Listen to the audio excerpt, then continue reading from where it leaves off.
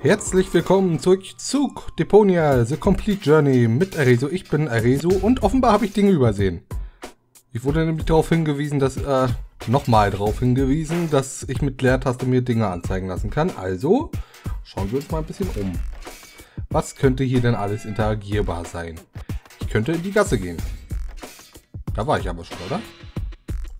Gucken wir nach. Nee, da war ich noch nicht. Aber den da kenne ich schon. Hanek. Hi, Hanek. Sollte er nicht eigentlich die Rohrleitungen instand halten und Mülllawinen wegschaufeln? Fauler Sack. Vielleicht hat er gerade Pause. Du Depp. Hallo, Hanek. Ach, äh, hier, ähm, Rufus. genau. Gut, was fragen wir denn? Ja, fragen wir mal nach dem Papagei. Ist das da drüben dein Papagei? Ja, wir benutzen ihn, um gefährliche Gase im Stollen zu erkennen. Und was macht ihr, wenn das passiert? Einen neuen Papageien besorgen. Verstehe. Oh. Das ist eine grausame Methode. Ich verstehe, warum es gemacht wurde. Es ist trotzdem eine grausame Methode. Warum arbeitet ihr nicht? Du meinst, so wie du? Irgend so ein Witzbold hat die Magneten vom Sprengplan entfernt. Darum. Hey, ich habe ordentlich zu tun. Ich bin schon den ganzen Tag am Rumrennen. Sachen erledigen und besorgen und so. Na, dann besorg uns doch mal neue Magneten für den Sprengplan. Dann Schon können erledigt. wir nämlich auch weiterarbeiten. Gut, dann könnt ihr gleich weiterarbeiten. Wie genau funktioniert das mit dem Sprengplan? Oh, das ist eine spannende Sache. Das bezweifle ich. Der Sprengmeister legt die nächsten drei Sprengpositionen fest, indem er den entsprechenden Quadranten mit Magneten markiert. Dann läutet er die Glocke. Ich gebe das Signal dann weiter an den Grubenarbeiter, der unten im Stollen die Sprengsätze anbringt. Dann wird gesprengt. Und dann kommt der spannende Teil? Ähm, äh, nein. Eigentlich war es das dann. Ah, wusste ich's doch. Rufus, dein Leben ist wesentlich unspannender. Es sei denn, du sprengst die gerade selbst in die Luft. Was treibt ihr da unten eigentlich? Na was wohl? Wir sind Müllsucher. Wir suchen nach nützlichem Schrott. Aber meistens ist Schrott eben nur Schrott. Also nutzlos. Ich habe zum Beispiel eine ganze Sammlung von Autoschlüsseln, die zu längst verwrackten Autos gehören. Ist meckern auf hohem Niveau wahrscheinlich, aber ich, es nervt mich total, dass die äh, Lippenbewegung überhaupt nicht synchron ist. Ich finde sch eigentlich schön, dass sie Lippenbewegung reingebracht haben. Ist ja auch keine Selbstverständlichkeit für Point-and-Click-Adventures. Ja, aber dann wirkt die hier ein bisschen komisch immer. Ja, aber äh, Schrott, also ich denke, man kann eine ganze Menge nützliches Zeug finden, zumindest wenn man ein bisschen handwerkliches Geschick hat, um das auch zu benutzen. Aber das sehen wir ja hier bei den ganzen Dingen, die hier benutzt wurden. Also ich frage mich, was die dann genau suchen, was da so nützlich sein soll, dass es ja, eben nicht raffiniert werden muss. Mein Schlüssel. Ich habe einen Schlüssel? Ist zufällig mein Schlüssel dabei? Hm, weiß nicht. Wie war noch gleich dein Name? Mein Name ist Toni. Toni. Mal nachdenken. Toni? Toni? Toni? Nein. Ich glaube, dann habe ich deinen Schlüssel nicht. Okay, aber was, wenn ich Wenzel heiße? Wenzel. Mal nachdenken. Wenzel? Wenzel? Wenzel? Nein. Ich glaube, dann habe ich deinen Schlüssel nicht. Okay, aber was, wenn ich Rumpelstilzchen heiße? Rufus. Mal nachdenken. Rufus, Rufus, Rufus. Nein. Ich glaube, dann habe ich deinen Schlüssel nicht. Hast du irgendwelche Schlüssel? Vergiss es. Schon geschehen. Noch was? Besonders den Namen hat er direkt wieder vergessen. Aber da ist, äh, ich finde schön, dass sie es so vorbereitend gemacht haben, dass er ein äh, schreckliches Namensgedächtnis hat und man sich ihm deswegen dann eben so vorstellen will, wie man kann. Ah, wie man will. Hast du von der Frau aus Elysium gehört? Ja, aber das interessiert mich nicht. Ich habe schon eine Frau, die ich in den Stollen schicken kann. Und für zwei Frauen ist es da unten zu eng. Ach ja, L'amour. Bis bald. Tschö. Ähm, Rufus. genau. Da haben sie auch wirklich nur die eine Sounddatei für dieses meckernde Rufus. Obwohl es in ganz vielen äh, Dialogen vorkommt. Oh, da ist eine Kneipe, okay. Da ist der Sprengplan. Mit dem Papagei reden wir gleich. Ah, eine Notfallstation. Okay. Was machst du da schon wieder, Rufus? Du kannst keine Luftgitarre spielen. Du kannst gar nichts spielen. Du kannst gar nichts. Wir geben mal das Sprengsignal. Hey, warum arbeitet ihr nicht? Irgend so ein Witzbold hat die Magneten vom Sprengplan entfernt. Darum. Okay. Dann gucken wir uns erstmal den Papagei an. Papagei. Ja. Wir benutzen ihn, um gefährliche Gase im Stollen zu erkennen. Und was macht ihr, wenn das passiert? Einen neuen Papageien besorgen. Verstehe. Mal sehen, was er dazu sagt. Oder sie? Ich bin nicht sicher. Hallo. Hallo, hallo, ich habe Hunger. Ich ernähre mich schon seit Tagen nur von Würmern. Ignorier ihn. Meine Frau redet manchmal mit sich selbst, wenn sie da unten ist. Da Oh. hat er das eine oder andere aufgeschnappt. Wir dürfen uns nicht mehr treffen. Ah, mein Mann ist zwar verstaubt, ah, aber der Vogel hat ein sehr feines Gehör. Ah, Klasse. Okay. Schön. Äh, gehen wir zur Notfallstation. Okay, wir gucken uns erst einmal noch ein bisschen um, bevor wir denen sagen, dass sie sprengen sollen. Ich weiß nämlich nicht, ob da irgendwas kaputt geht. Hallo, bist du die Frau von Hanek? Rufus, ich dachte, du seist auf dem Weg nach Elysium. Bist du zurückgekommen, um deine Schulden bei mir zu begleichen? Oh, das, äh, hör mal, Lonzo. Ich hätte es noch gemacht. Aber so einen Fluchtapparat zu bauen kostet viel Zeit und, ähm, Lass gut sein, Rufus. Es hat hier doch eh niemand damit gerechnet, dass du es schaffst. äh, na super. Danke. Ist doch schön, wenn die äh, Schurken einen für viel zu inkompetent halten, als dass sie ihnen entkommen könnten und deswegen keine Jagd machen. Na klar, als könnte man mit dem Fall tatsächlich die Scheibe treffen. Nur weil du etwas nicht kannst, heißt es nicht, dass es unmöglich ist, sonst würde überhaupt nichts funktionieren, weil du nichts kannst. Und den Pfeil. So. Ein Schild. Lörre, das einzige, was es auf diesem Planeten zu trinken gibt. Von wegen. Zum Glück bin ich immun gegen Werbung. So, und jetzt ein Steak. Hm, ich nehme an, dass... Okay, wahrscheinlich, weil hier das, äh, oh, weil hier die Kuh zu sehen ist. Okay. Was soll das denn? Baut Lonzo eine neue Kaktuspresse? Oder einen schnelleren Shaker? Unmöglich, er hätte mich sicher um Hilfe gebeten. Warum sollte er das tun? Okay, jetzt bin ich gespannt, was dahinter ist. Der arme Lonzo. Ohne mich wird er ganz schön aufgeschmissen sein. Niemand ist ohne dich aufgeschmissen. Hör auf, das da unter den Leuten einreden zu wollen. Uh, Lonzo. Ja, Bekomme ich einen Schnaps? Gibt's hier eigentlich nicht, weil es gibt nur Plörrer auf diesem Planeten. Bekomme ich einen Schnaps? kommt drauf an. Begleichst du deine Schulden bei mir? Aber klar. Sobald ich wieder flüssig bin. Du weißt doch, dass ich ein Mann bin, der zu seinem Wort steht. Zumindest bis du ein neues Wort gefunden hast, neben dem du besser aussiehst. Das hast du schön gesagt. Ja, das war witzig. Ähm. Ja, wahrscheinlich wird er einfach sagen, stimmt, werde ich nicht. Du wirst nicht glauben, was ich erlebt habe. Wahrscheinlich nicht. Also kannst du es auch genauso gut für dich behalten. Aber die Geschichte hat alles. Action, Dramatik, Liebe. Kommt ein Drache drin vor? Nein. Dann bin ich nicht interessiert. Wobei, Moment, lass mich erstmal ausreden. Ich glaube, da war wirklich ein Drache. Zu spät. Verdammt. Gute Einstellung. Geschichten ohne Drachen sind meistens weniger interessant als die mit. Ähm, gut, wonach fragen wir? Lange nicht gesehen. Wir haben doch eben erst mit ihm gesprochen. Na gut, das zählt nicht. Okay, ich gebe es dir. Lang nicht gesehen, Lonzo. Stimmt. Irgendwas Neues? Ach komm schon. Das hier ist Kuwak. Hier passiert nie was Neues. Tja, ohne mich wäre hier echt tote Hose. Es gäbe weniger Explosionen. So viel steht fest. Schade für euch, dass ich weggehe. Zum Heulen. Äh, Leute unter der Stadt, die regelmäßig äh, äh, Explosionen verursachen und trotzdem wären es merklich weniger, wenn er da, äh, wenn er weg wäre. Gut, dann äh, beschuldigen wir mal Toni. Toni nervt. Sie hat da eine eigene Version. War sie etwa hier? Irgendjemand musste mir doch den Tisch ersetzen, den du gestern kaputt gemacht hast. Ja, das war eine fabelhafte Performance. Guck mich an. Ich bin Toni.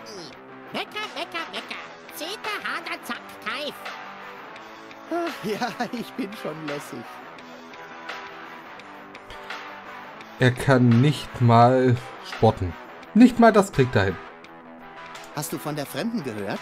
Ja, aber es interessiert mich nicht. Sag jetzt nicht, dass du da mitmischen willst, wenn sich die Idioten gegenseitig den Kopf einschlagen. Ach, du kennst mich doch.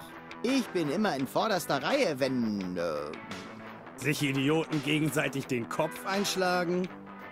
genau. Das ist er diesmal ehrlich. Ich muss gehen, Abenteuer erleben und so. Jetzt nicht mehr. Immer. Gut, da ist der Vorhang. Den dort können wir nicht mitnehmen. Obwohl, wahrscheinlich ist das eher eine Trophäe. Gibt es hier Mechabären, die hier, äh, die hier frei rumlaufen? Wozu wird so ein Hebel gebraucht bei der Dartscheibe? Das frage ich mich gerade. Ja, okay. Hier scheint es nichts weiter zu geben. Dann gehen wir mal zur Notfallstation. Und Gecko. Doch, nee, ein Chamäleon, oder? Oder? Nee. Hat eben die Farbe verändert, deswegen dachte ich... Achso, sitzt auf diesem Ding hier. Okay, dann ist es ein Chamäleon. Gut. Hm. Die Notfallstation macht Mittag? Na toll. Und was, wenn es einen Notfall gibt? Mein nuklearbetriebener Satellit könnte auf Kuwak stürzen. Oder die Grizzlies sich aus meinen Laufrädern befreien. Denkt denn niemand mit? Ich glaube ihm nicht, dass er das hat, einfach weil ich nicht glaube, dass er in der Lage wäre, das zu organisieren. Also gehen wir mal zum Springplan und gucken Das uns ist das eine an. Karte der Schrottstollen. Ich frag besser Hanek, wie das funktioniert. Hat er schon erklärt. Wir nehmen Magneten, zum Beispiel diese hier. Und dann kleben wir die drauf.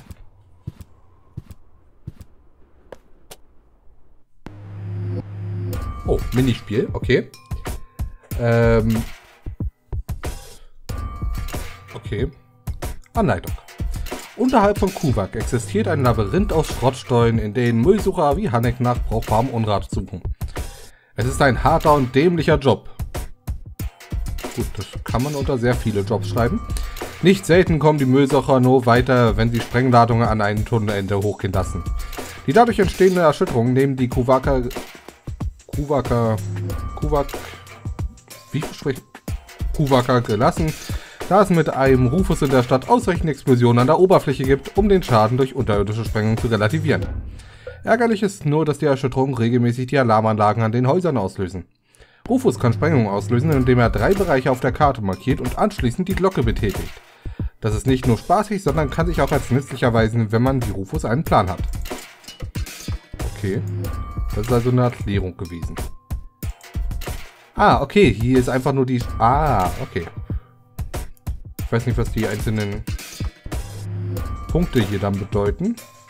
Aber gucken wir uns mal an, was passiert, wenn wir hier sprengen. Hier sprengen. Und hier sprengen. Ich glaube, ich darf nicht. Oder? Moment, jetzt so achso, verlassen und dann... Oha, das Sprengsignal. Achtung! Sprengung!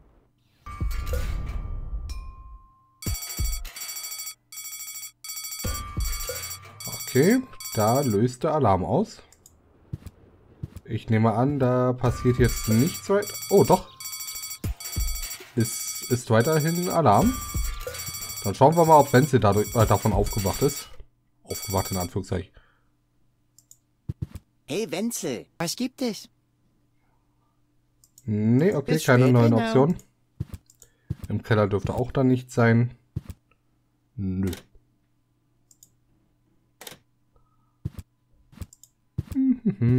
Zurück.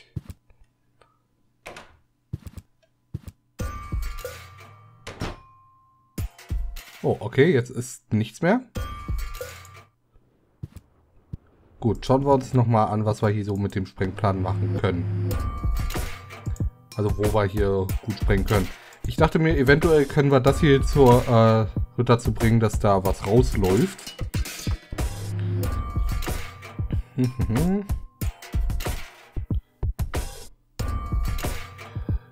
Damit wir hier eben eine Wasserader haben, die äh, Winzel finden kann.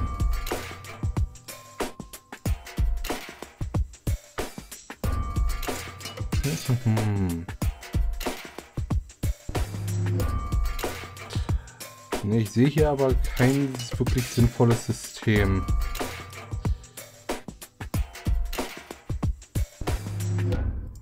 Wie gesagt, bei den Punkten bin ich mir nicht sicher, was sie bedeuten. Mehr steht hier leider auch nicht. Hilft, wenn man einen Plan hat. Ich habe keinen Plan.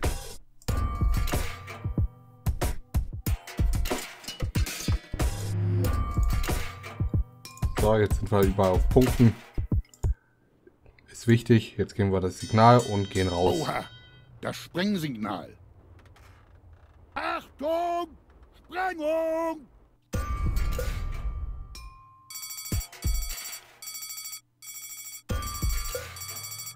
Hm. Es ist immer an den gleichen Stellen oder eventuell muss ich einfach dafür sorgen, dass nee, alle Alarme gleichzeitig werden nicht losgehen. Ich wüsste auch nicht, was dann passieren sollte. Aber wir versuchen es trotzdem einfach mal.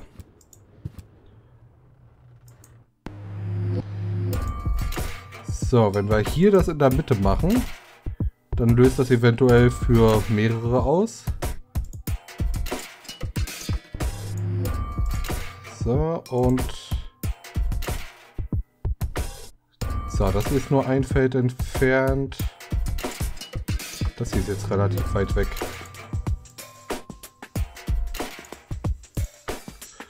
So, versuchen wir das mal so und gucken, wie es dann aussieht. Oha, das Sprengsignal. Achtung! Sprengung!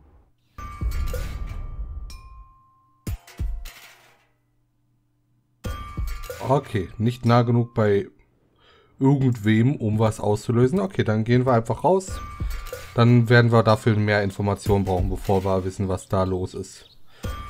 Okay, Notrufsäule. Wenn die Bürger von Kuwak um ihr Leben fürchten, können sie hier um Hilfe rufen. Hm.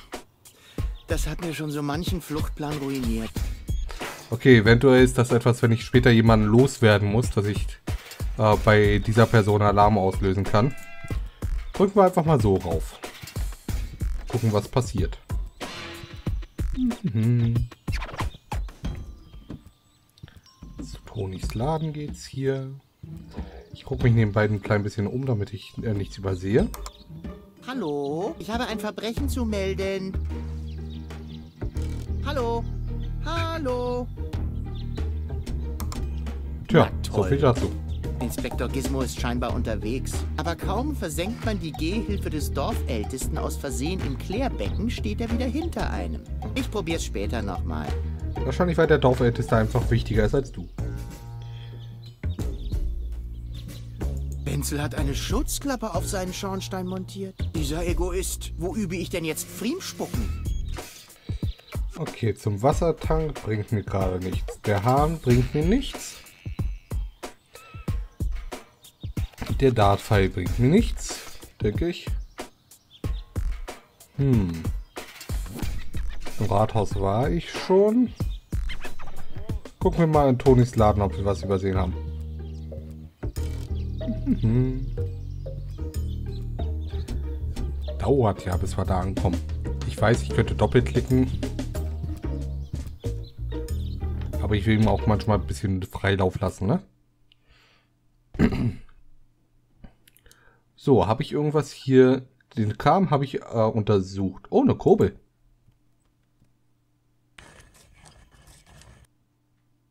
Cool. Hm. Da ist ja nicht einmal mehr ein Krümel drin. Ich muss wohl meine eigenen Zutaten besorgen. Okay, wir können irgendwas kaputt machen hiermit. Zum Beispiel einen Schwamm. Ich bin nicht ganz sicher, was äh, ich mir damit... Ganz meine Meinung. Schwamm drüber. Nee, was ich mir davon erhoffe. Gut, das hier sollte nicht sein, das sollte nicht sein. Mhm.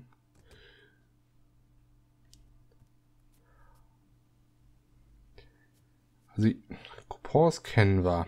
Oh, eine Stange. Hier hing mal der Käfig von Tonis Wellensittich. Aber auch er hat es nicht lange mit ihr ausgehalten und ist ausgebüxt. Er ist an Altersschwäche gestorben. Ist doch egal. Nachdem du ihn versehentlich mit Progerie infiziert hast. Also meine Version war lustiger. Der Kerl wird mir von Folge zu Folge unsympathischer. Okay.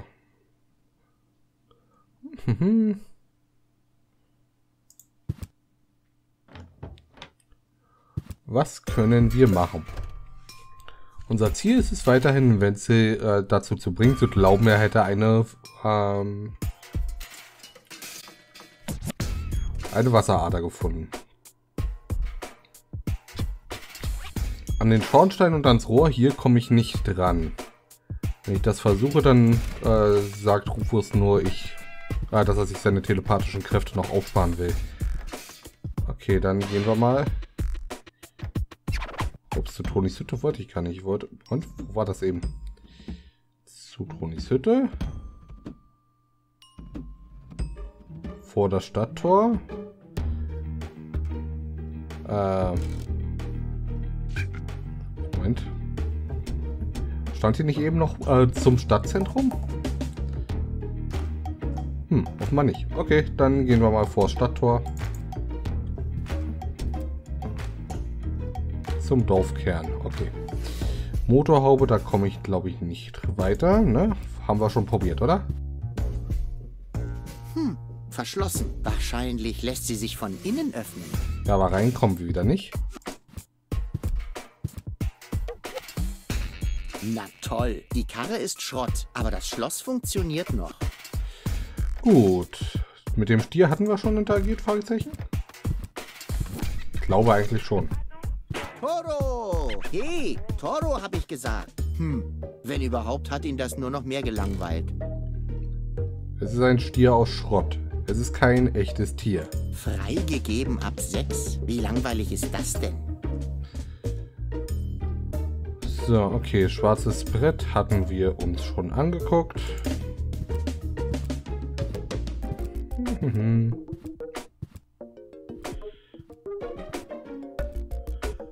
Okay, das geht zum Wassertank.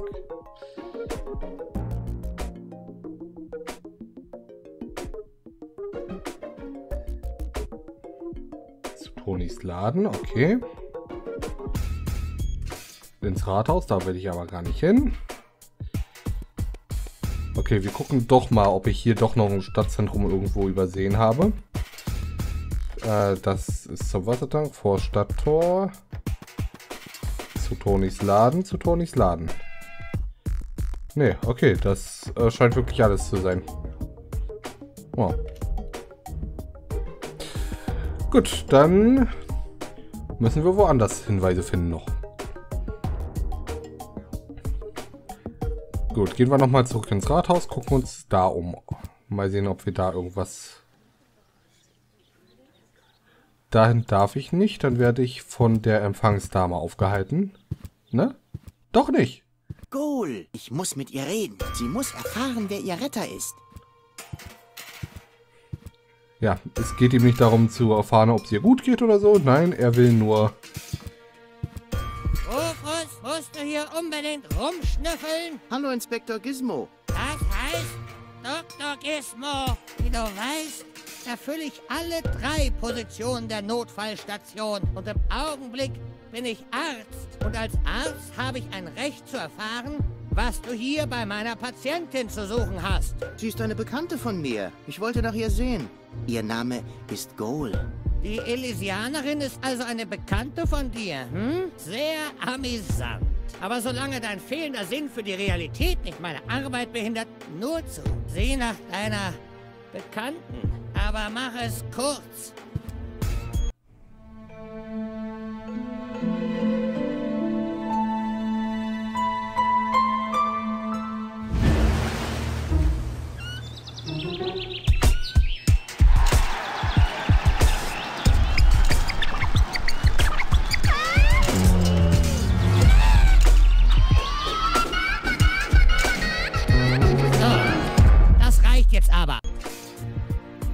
Was? Genug Tagträume für heute. Meine Patientin braucht Ruhe. Das heißt, Ich vermute einmal, dass sie Ruhe braucht. Um mir sicher zu sein, müsste sie wohl erst einmal aufwachen. Sie ist bewusstlos? Was fehlt ihr denn? Das Bewusstsein offenbar. Für weitere Untersuchungen müsste sie wach sein. Aber keines von meinen Medikamenten sprengt an. Wie wär's mit einem richtig starken Kaffee?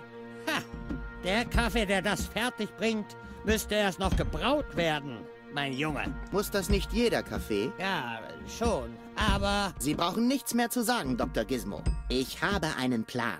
tu der Welt einen Gefallen und verschone sie mit deinen Plänen, Rufus. Deine schrägen Ideen haben noch nie zu etwas Gutem geführt. Außer, dass mir der Bürgermeister einen größeren Schrank für Krankenakten genehmigt hat. Immerhin. Äh, erst einmal, was die Tagträume angeht.